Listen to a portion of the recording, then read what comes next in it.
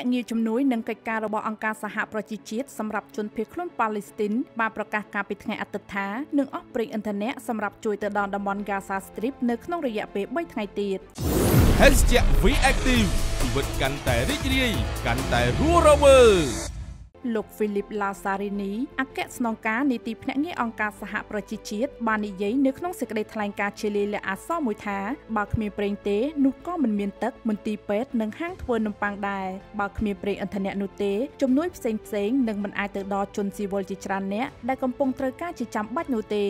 លោកបាននិយាយទៀតថាបើមិនមានប្រេងឥន្ធនៈទេនោះវាប្រៀបដូចជាច្របាច់កប្រជាជននៅតំបន់ហ្គាហ្សាជាពិសេសជំនួយទាំងនោះមិនបានទៅដល់ដៃប្រជាជនដែលត្រូវការនោះទេដូច្នេះយើងមិនអាចឲ្យរឿងនេះកើតមានឡើងឡើយលោកបានបន្ថែមថាខ្ញុំសូមអំពាវនាវដល់ភាគីទាំងអស់និងអ្នកដែលមានឥទ្ធិពលលើពួកគេគួរតែអនុញ្ញាតឲ្យមានការផ្គត់ផ្គង់ប្រេងឥន្ធនៈភ្លាមៗទៅកាន់តំបន់ Gaza Strip និងដើម្បីធានាថាប្រេងឥន្ធនៈត្រូវបានប្រើប្រាស់យ៉ាងត្រឹមត្រូវដើម្បីការពារការបង្អាក់ការផ្គត់ផ្គង់ផ្នែកមនុស្សធម៌គួរបញ្ជាក់ថាភាពតានតឹងថ្មីដែលផ្ទុះឡើងនៅមជ្ឈមបូព៌ាបានអូសបន្លាយពេលដល់2សប្តាហ៍ហើយបន្ទាប់ពីក្រុមហាម៉ាស់បានបើកការវាយប្រហារមកលើទឹកដីអ៊ីស្រាអែលចេញពីតំបន់ Gaza Strip កាលពីព្រឹកព្រលឹមថ្ងៃទី7ខែតុលាដោយបានសម្លាប់មនុស្សជាង1400នាក់ដែលភាគច្រើនជាជនស៊ីវិលចំណែកនៅតំបន់ Gaza វិញក្រសួងសុខាភិបាលដែលគ្រប់គ្រងដោយក្រុមហាម៉ាស់បាននិយាយថាការឆ្លើយតបរបស់អ៊ីស្រាអែលបានសម្លាប់មនុស្សជាង